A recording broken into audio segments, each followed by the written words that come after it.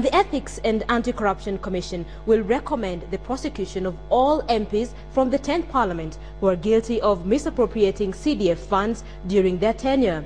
The Commission says it will study an audit report on the use of the Constituency Development Fund by the National Taxpayers Association and propose legal action against those involved.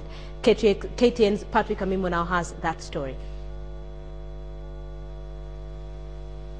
The National Taxpayers Association released its last report of a series of assessments that started in 2008 covering CDF-funded projects. The final report that audited the remaining 28 constituencies reveals that 40.5 million shillings allocated to the CDF kitty in the last financial year was unaccounted for, while abandoned projects cost the taxpayer 22.2 million shillings. The report says poor procurement systems are to blame for pilferage of the CDF kitty.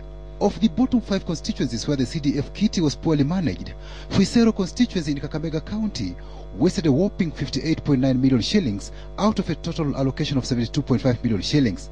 Isiolo North constituency misused 29.6 million shillings of the CDF kitty out of a total of 70.2 million shillings. It was represented by the Minister for Livestock Mohamed Kuti.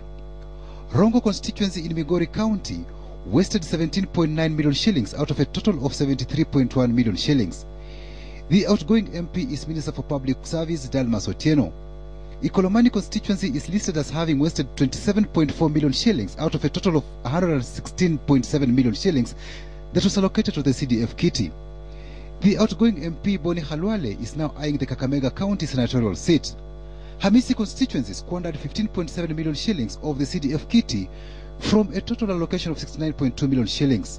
The immediate former MP George Khaniri now wants to contest Vihiga County senatorial seat. The anti-corruption body says MPs guilty of misusing CDF funds would be prosecuted.